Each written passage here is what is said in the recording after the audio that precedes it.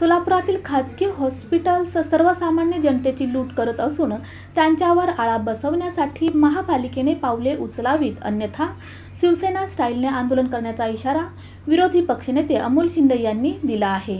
सोलापुरात कोरोना रुग्णांची संख्या वाढत आहे. शहर आणि जिल्ह्यातील सर्व शासकीय आणि खासगी हॉस्पिटलमध्ये एकही जागा शिल्लक नाही आहे इतर वेळी सर्वसामान्यांना आरोग्य सुविधा परवडणाऱ्या नाही आहेत कोरोनाच्या काळात तर त्या अजून महाग झाल्या आहेत. अशी परिस्थिती खासगी हॉस्पिटल सर्वसामान्यांना दिलासा देण्याऐवजी प्रचंड बिल करून लूट करीत आहे.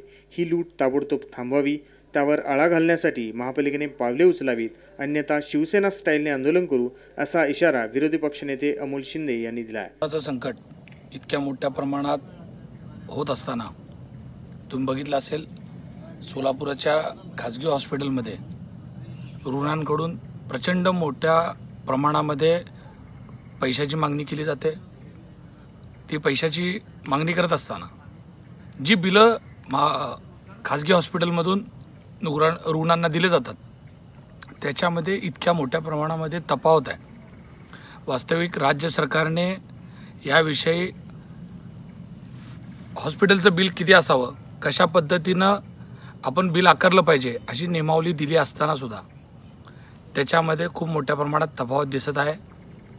महापालिकेनं तातडीनं जेवढे काय आपले खाजगी हॉस्पिटल आहेत त्या हॉस्पिटलच्या बाहेर जी काही शासनाने बिलं घेण्याची नियमावली केली आहे त्याचा बोर्ड लावणं खूप गरजेचं आहे. प्रचंड मोठ्या प्रमाणात नागरिक आणि त्यांचे नातेवाईक त्रस्त झालेले आहेत रुग्णांचे.